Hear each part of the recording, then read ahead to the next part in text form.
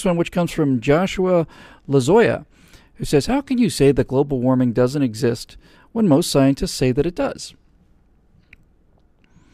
I'm not denying that global warming exists. I'm not denying that global cooling exists. The climate has been warming and cooling all the time. The climate is in a perpetual state of motion. They lost the argument when they stopped calling it man made global warming and started referring to it as climate change. And the reason they lost the argument that instant is because the climate has been changing since the Earth has been here. If you look at the history of the Earth's temperatures going all the way back to the existence of the Earth, using whatever methods they're able to use to determine how, how temperatures were, use biomass temperature measurements and calcium, all, all this stuff, ice cores, all this jazz, you find that the Earth has been in a state of constant flux. The temperature of the Earth has been changing constantly. So the second that they stop saying man made global warming and start saying climate change, it's over. They lost. Because man made global warming is a once in history crisis and catastrophe that deserves to be dealt with, but global uh, climate change is like saying the, we we've got to stop um, your, your your breathing.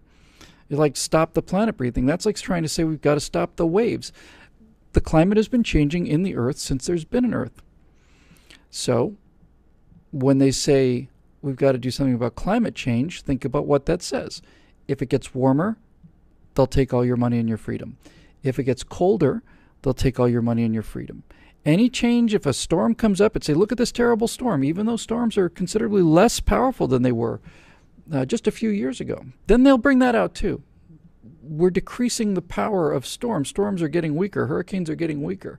And that's not putting enough water into the ecosystem. We have to rapidly do something to increase the strength of hurricanes. And mark my words, they're going to tell you this happened. Um, so globe, when they say climate change, they lose on their face. It doesn't help them any to show that the period of steep warming that alarmed them. And look, let's just be fair here, okay? If you look at 50, if you're living in 1998, 1999, right in there, that's when the warming stopped, and you see this steep increase in warming, I would want a scientist to say this is unusual. What's causing this? That's fine. And I wouldn't mind a scientist who says, we're very concerned if this trend continues in the future. That's fine too. But when they've got everything invested in this, and then in 1998, the, the, the warming just stops, and now we have 17 years of no, uh, no, no warming at all, when, when the data that caused them to run around with their hair on fire in the first place now shows no more warming, although carbon dioxide levels continue not only to increase but to accelerate, that invalidates their theory. And if they were real scientists, they'd say they made a mistake and they'd go home and try and figure out what the real cause is. Because if global warming is caused by CO2, man made CO2, man made CO2 has not only been slowing down, it's been increasing. Global temperatures right around 98, 2000 have flatlined, and now the Arctic, which we were told would be ice free this year by Al Gore 10 years ago, is in fact showing more ice, 40% more dense ice, than it did two years ago. An area twice the size of Alaska, and Alaska is not tiny, ladies and gentlemen, is now under ice when it wasn't under ice two years ago. This is evidence that the theory is incorrect. And they won't accept that. And they won't accept the fact that when they talk about thousands of science, uh, to get a little more into your uh, question, Joshua, when most scientists say that it does, when they say most scientists say that global warming is happening, as I said, climate change is ridiculous argument. When you say most scientists, and they'll say thousands of scientists, well, thousands of scientists are using data provided by two sets of scientists. Virtually all climate data is derived from temperature records kept and maintained by the National Oceanographic and Atmospheric Association, that's NOAA, and by East Anglia uh, University in Britain. So all of the data sets that the thousands and thousands of people work on are controlled by two labs, basically. Both of these labs have long trails of email evidence indicating that the data sets have been faked and that every single time an adjustment has been made. And when I say an adjustment, I say let's say that a temperature sensor, sensor in uh, Bolivia is reading 93 degrees Fahrenheit, and they adjust it to 95 degrees Fahrenheit. And they claim they need the adjustment because, well, urban areas or because of new changes in methodology, blah, blah, blah, blah, blah. They keep doing these adjustments. Every single adjustment, every single one of them has been to raise temperatures. And as my friend Burt Rutan says, there's little details like when the Soviet Union disappeared in the uh, late 1980s, early 1990s, something like 1,500 temperature sensors went offline in Siberia because they didn't have the means to pay for them anymore.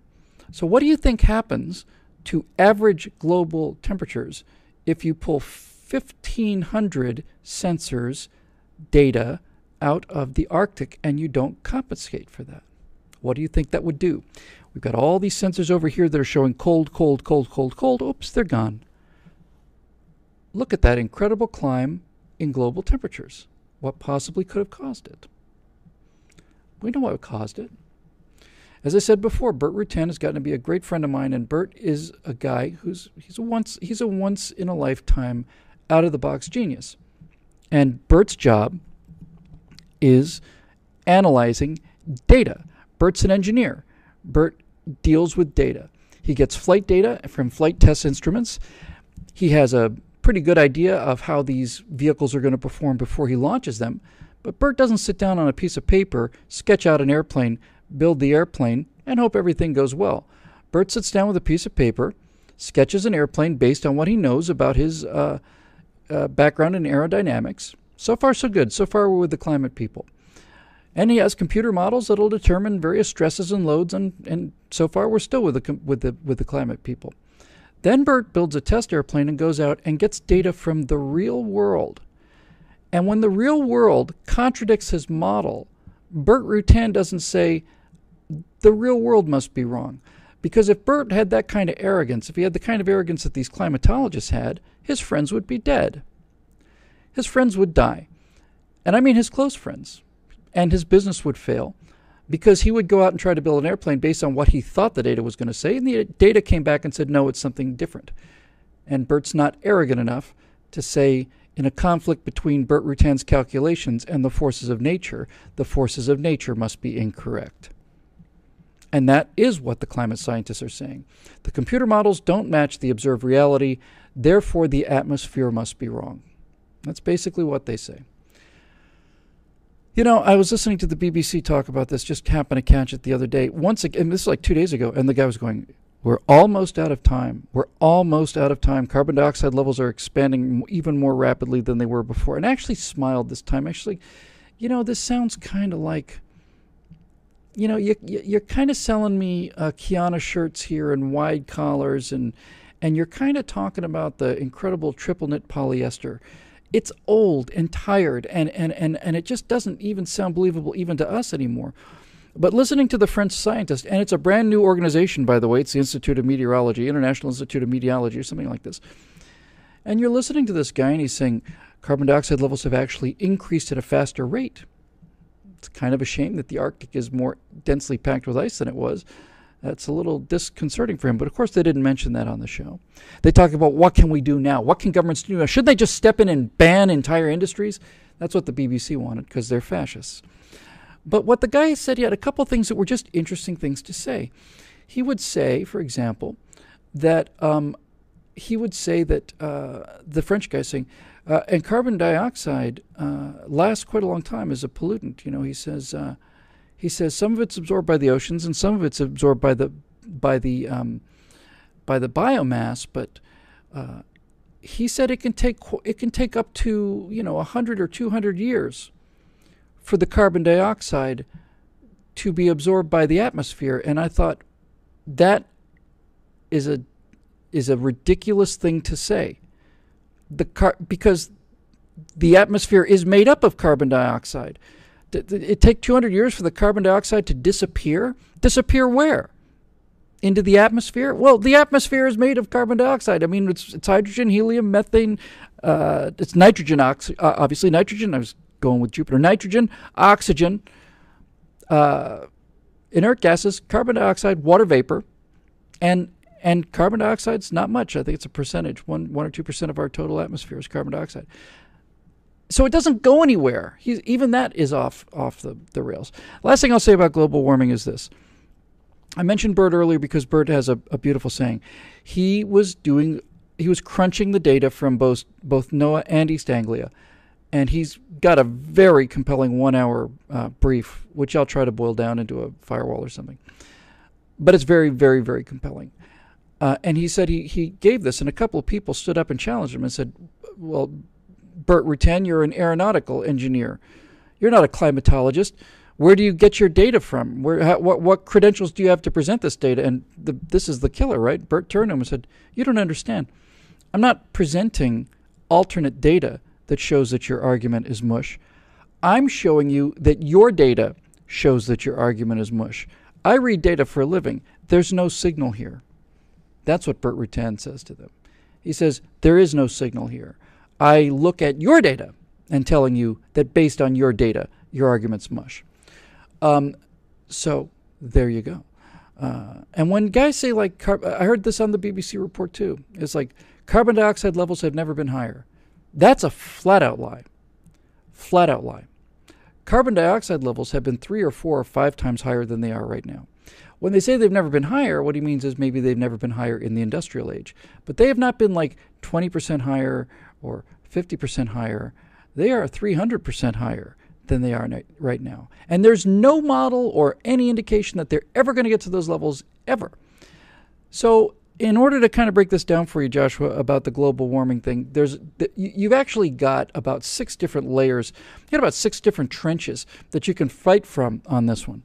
First of all, the first trench you can fight from is there is no longer any global warming Temperatures have been flat longer now than they were during the spurt that caused this thing in the first place.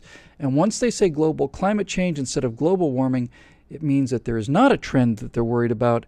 It literally means that any data, anywhere, anytime, can make their case, so you can fight in that trench.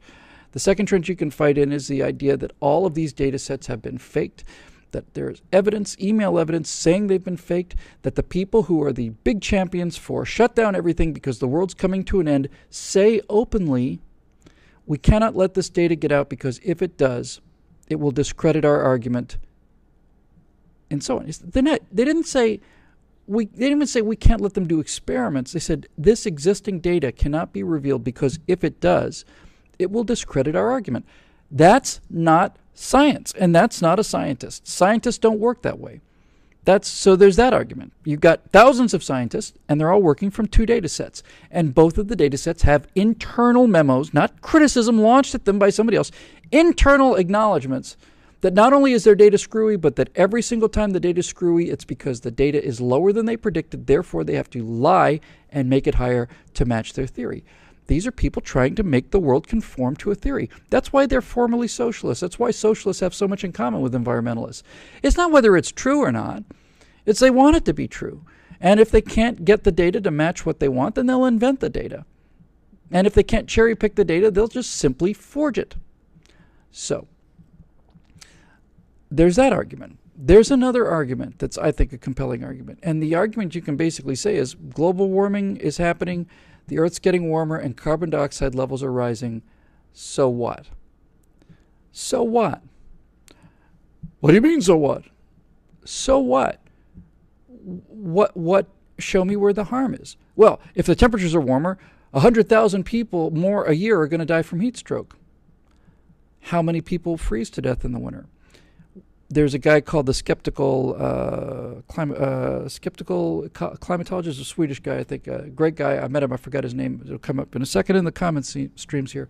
But basically, what he's saying is, if you take a look at the number of additional heat deaths forecast, it's something like one fifth of the total number of cold deaths that will be prevented. In other words, a warming planet actually saves lives. Yes, some more people will die of heat stroke, but larger numbers of people won't freeze to death. But of course, that doesn't measure into the uh, account or anything. There was a the same guy took took a look at the number of polar bears that were dying each year, and as it turns out, it was something like let's just say, for the sake of the argument, it was 12 polar bears that were proven to have drowned because of melting ice. Turns out there's something like 60 polar bears that are killed every year by human hunting. If you want to save the polar bears, No one's arguing there's going to be 60 of them killed a year by human hunting. So again, that kind of the kind of thing, right? It just falls apart. But so what if it's getting warmer? Here's a really interesting thing to say to somebody, you know.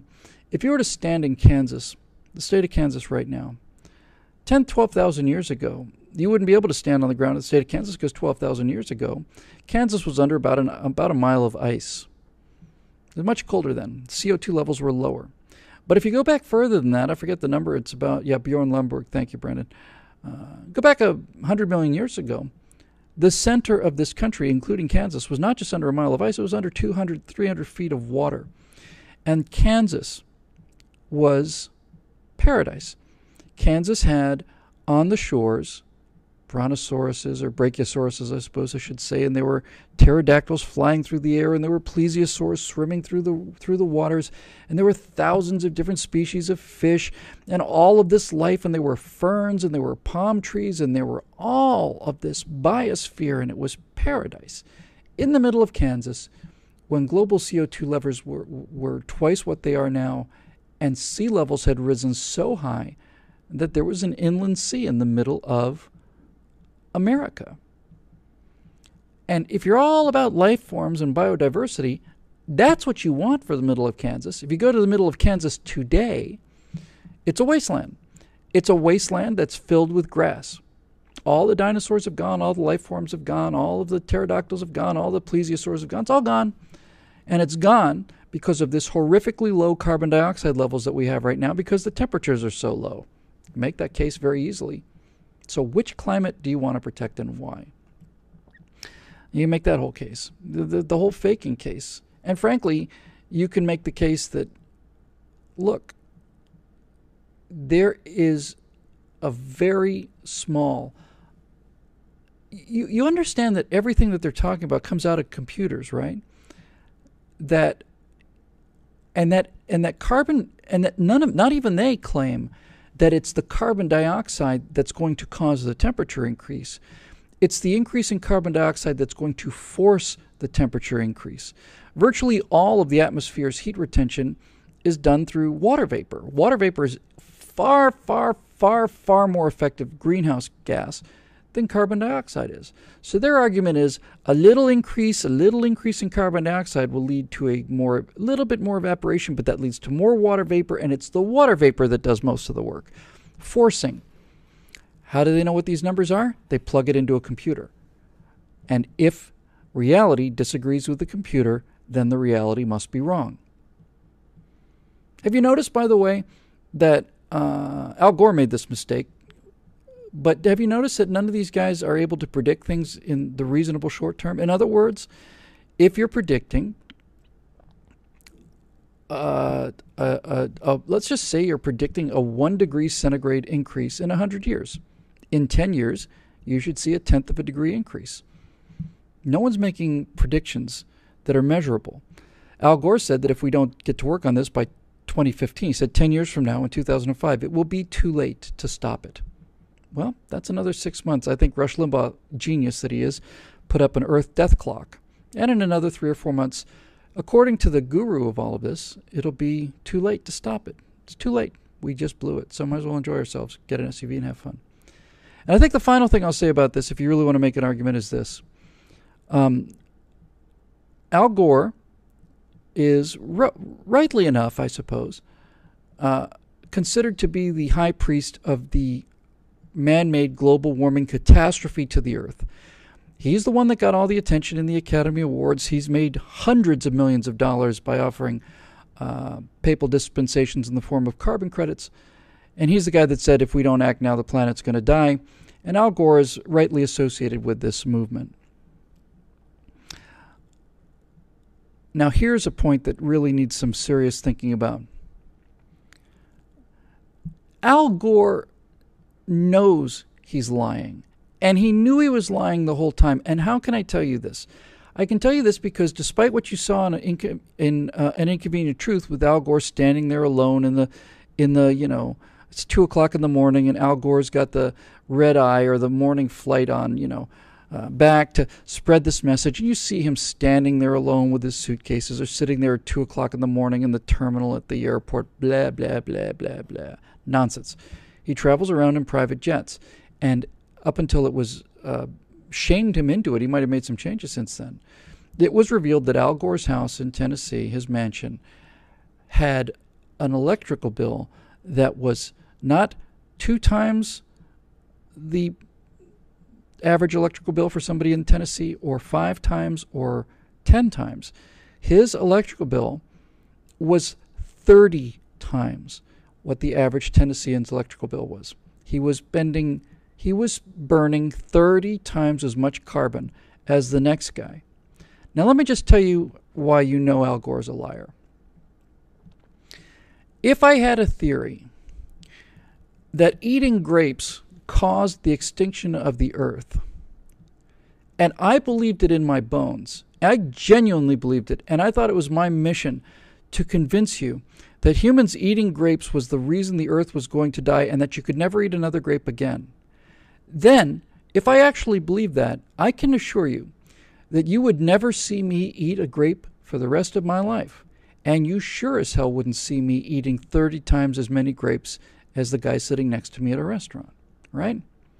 If I really believed it, if I really believed it in my heart, I would make sure that my electric bill was zero, that my carbon footprint was zero. And I would, in fact, take trains to symposiums or whatever the lowest uh, form of uh, carbon footprint is. If I really believed it, I would act like I believed it because I would know that all the oh, what difference was your personal consumption make? Well, my personal consumption is one three hundred millionth of American consumption. But if I was the high priest of grape eating uh, or prevention of grape eating, then my personal consumption levels are going to be examined by both my followers and my um, antagonists. And the fact that Al Gore was burning 30 times as much electricity using fossil fuels as the average Tennessean is evidence that he doesn't believe it. Because if he did believe it, he'd never allow that to happen. I'll be here all night with this one. But uh, the last thing I'll close on, as I said uh, in a couple speeches, uh, and I think I'm probably going to do in um, in this coming afterburner, uh, uh, firewall. I saw a documentary back in 2004 or so, and it was one of these things. You must watch this. Your children are going to die if you don't. The planet is in danger. We're all gonna we're all gonna croak. Global warming special from about 10 years ago, and it was hosted by a network executive, one of the uh, no, I'm sorry, a network uh, anchor man, one of the top guys, and um, and it was on network news. It was an evening. It was an evening documentary, hour long documentary about global warming, and it was a big deal, and they promoted the hell out of it. So I watched the first little bit of it. And let's just say it was Tom Brokaw. I don't remember who, but let's say it was Tom Brokaw. And he's standing in front of the Arctic Ocean, and he he's looking at the camera very seriously, and he says, "The last time that this ocean behind me here in the Arctic has been liquid, ice-free, in September, was 20 million years ago. Global warming is real; it's happening, and we have to do something about it." And I thought to myself, if 20 million years ago the Arctic was unfrozen like it is now, whose SUVs and coal fire plants caused it to be liquid 20 million years ago?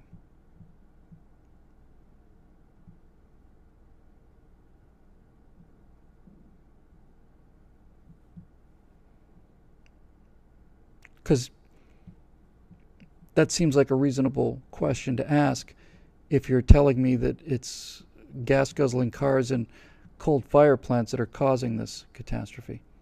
So, if it happened 20 million years ago, who caused it then? And apparently, these people can't even do that simple level of logic. They can't even put those two things together. And there's a second question that follows that, of course, and that is if it turns out that this ice-free sea 20 million years ago that we're uh, this ice-free sea that we're looking at now is is the sign of an irreversible climate disaster.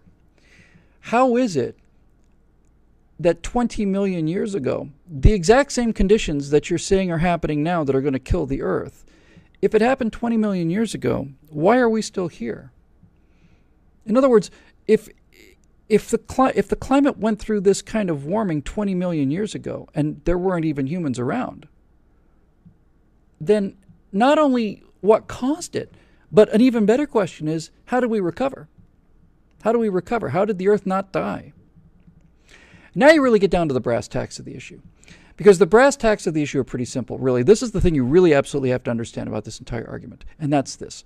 The earth is a negative feedback system. And if it wasn't, we wouldn't be having this discussion. Nobody would have been having this discussion. There wouldn't have been fossils to check or or any of that stuff because there wouldn't have been life on Earth.